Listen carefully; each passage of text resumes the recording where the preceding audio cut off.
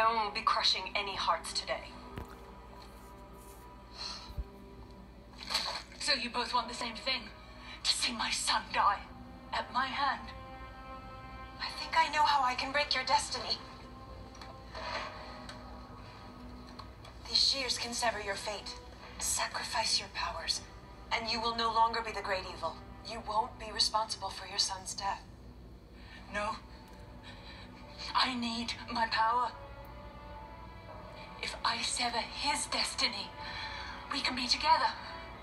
And I will still be strong enough to protect him. Fiona, no. Don't do this. Your son is destined to be a great hero. Do not take that from him. You do not need the power. Don't tell me what I need.